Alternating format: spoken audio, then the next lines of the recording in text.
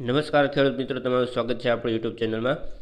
ખેડૂતો માટેના મુખ્ય સમાચારોમાં સૌથી પહેલાં છે, ખેડૂતો માટે મજૂરી ખર્ચ ઓછો થાય, તે માટે રાજ્ય સરકારે શરૂ કરી નવી યોજના. ખેડૂતોને જંતુનાશક દવાઓ છાંટવા એકર દીઠ પાંચસો રૂપિયા, લેખે કુલ રૂપિયા પચીસો રૂપિયા સુધીની સહાય આપવામાં આવશે. જ્યારે દવાઓ છાંટવાનો નેવું ટકા ખર્ચ કેન્દ્ર સરકાર ઉઠાવશે. આ યોજનાનો લાભ લેવા માટે ના ફોર્મ તમારા નજીકના ખેતી ખાતાના અધિકારી પાસે અથવા આઈ ખેડૂત પોર્ટલ પર જઈને તમે ભરી શકો છો. પછી છે ગુજરાતમાં સ્ક્રેપ પોલિસીના અમલની તૈયારી શરૂ થઈ ગઈ છે. હવે પંદર વર્ષથી વધુ જૂના વાહનો માટે ફિટનેસ સર્ટિફિકેટ મેળવવું પડશે.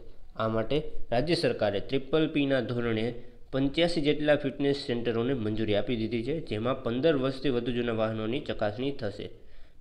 જો ફિટ થશે તો વાહનો ભંગારમાં મોકલશે. જો તે ટેસ્ટમાં ફેલ થશે વાહન, તો તેને ભંગારમાં મોકલી દેવામાં આવશે. ફિટનેસ સેન્ટરમાં ટેસ્ટની ફી જલ્દી જ નક્કી કરવામાં આવશે. અત્યારે જણાવવામાં નથી આવ્યું કે તે કેટલી ફી ચાર્જ કરશે. પછી જે આયુષ્યમાન કાર્ડને લઈને આવ્યા મોટા સમાચાર. આયુષ્યમાન કાર્ડની સમય મર્યાદા તારીખ એકત્રીસ જુલાઈ બે હજાર બાવીસના રોજ પૂર્ણ થતી હોય તેવા લાભાર્થીઓને તાકીદ નવા આવકના દાખલા કઢાવી આયુષ્યમાન કાર્ડ રિન્યૂ કરાવવા માટે આરોગ્ય મંત્રી ઋષિકેશ પટેલે જણાવ્યું હતું અને જલ્દીથી રિન્યૂ કરાવવાની અપીલ પણ કરી હતી.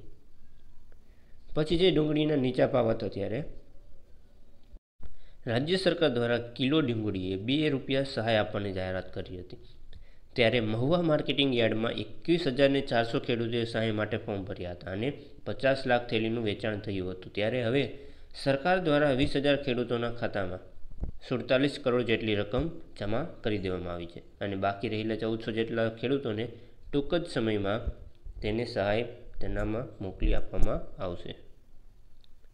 પછી છે, વીજ જોડાણને લઈને આવ્યો ગુજરાત હાઈકોર્ટનો મોટો નિર્ણય. કોઈપણ જમીન પર કેસ ચાલે છે અથવા સરકારના નામે બોલે છે અને વિવાદ ચાલે છે, તેવી જમીનો પર પણ ખેડૂતો વીજ જોડાણ લઈ શકશે. જ્યારે ગુજરાત હાઈકોર્ટ જણાવ્યું કે વીજ જોડાણ માટે જમીન કોના નામે છે તે જરૂરી નથી, તે જોવું જરૂરી નથી.